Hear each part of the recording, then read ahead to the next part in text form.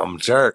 I'm a wizard. I'm a cat lover and a rapper and a hip hop artist and a true true artist at heart, real pure to the art form. Born in Cincinnati, Ohio, raised in Vallejo, California. That's home. After that, I got moved to uh, Northern Kentucky. That's where I got my first record deal. Then I moved to Houston, Texas for 11 years. And then now, I, I, after Houston, I'm here in uh, Denver, Colorado right now at the present moment. I heard Too Short for the first time. I think that was it back in the 80s. I heard my brother brought a tape home.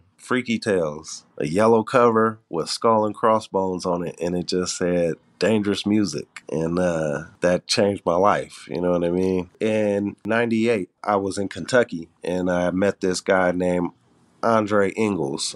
Rest in peace, Mongo Slade, my brother. We met over the phone over a sample he was looking for, and it turned into me getting a record deal with him. I was the first artist out of Covington, Kentucky. Legendary stuff, you know what I mean? And that was like the, the start of my career.